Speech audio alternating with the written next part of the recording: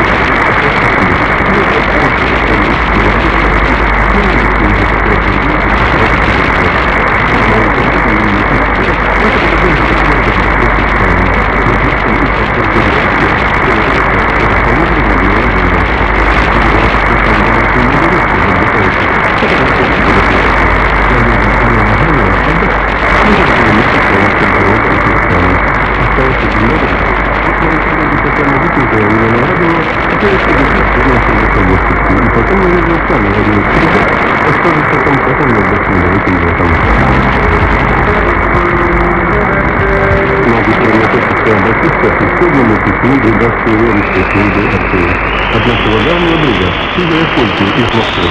Вот он тут, Питере. Здравствуйте. Давно ли слышно эти постоянно защита?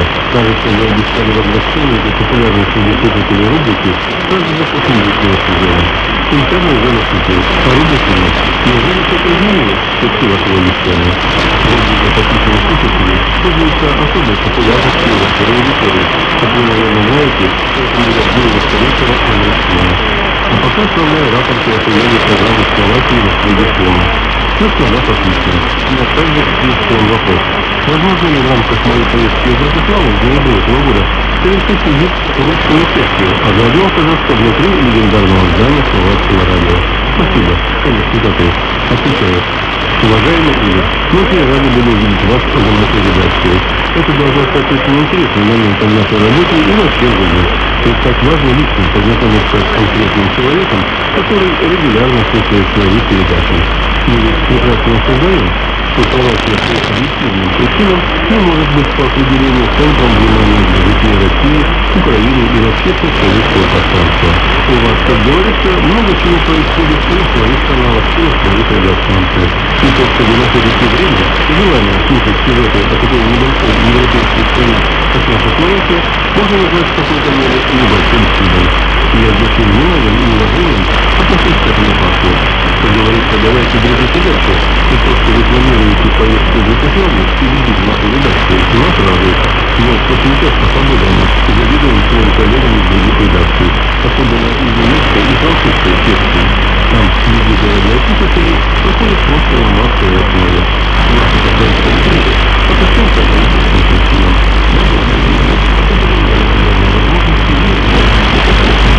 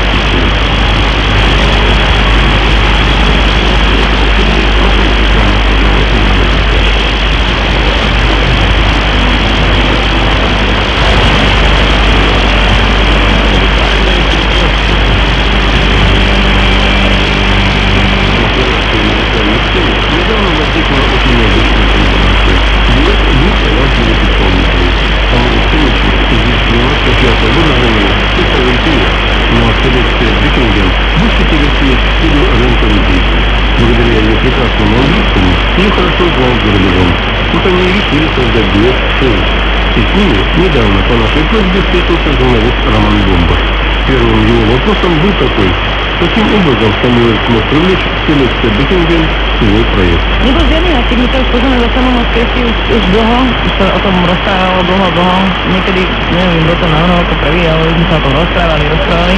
A bolo to, sme si povedali, tak poďme na to, poďme to skúsiť, tak sme sa k Samovi do štúdia a vymyslela sa táto vec. Duo je vždy o tom, aby nebolo súperenie, aby bol kompromis, aby sa to zladilo. Muselo sa to pôvodné, ten nápad upravovať tak, aby to sadlo, alebo to v podstate sadlo na prvýkrát. Najdôležitejšie bolo, že šli nám mladia hlasy, ale ja som tak vypočul Celest a mal som pocit, že to bude ladiť. A, a aj to bude dôležité, lebo vieš, ako spieva teraz na silu s niekým len kvôli tomu, že treba zjesť námi alebo a čo je jedna vec, ale druhá vec je, že aby si naozaj tie hlasy sedeli a podľa mňa sedia tie hlasy. A myslím si, že tým pádom tie veci idú všetky ľahšie aj v rámci toho aranžu a tak ďalej, keď, keď to hlasovo proste frekvenčne všetko sedí, keď tam má byť odborný. A tým pádom pak potom je to radosť pracovať.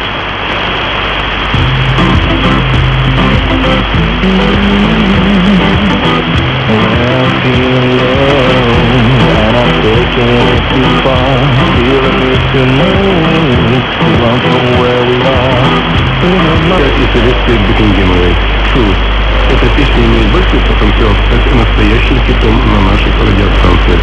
Ну а вот комментарий певца Самуэля Томичика. Tak jednak, sa tak bližšie spoznali, В тот момент, когда мы познакомились, Селестия была очень юной, но меня она поразила своей серьезностью и зрелостью, не только как певица, но и как человек.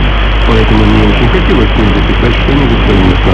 Я рад, что эта мечта реализовалась. Друзья, давайте послушаем новую песню в исполнении дуэта Самуэла Томичика и Селеста Бекинга.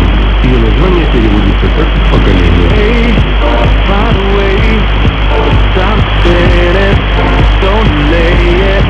Raise your head, be proud,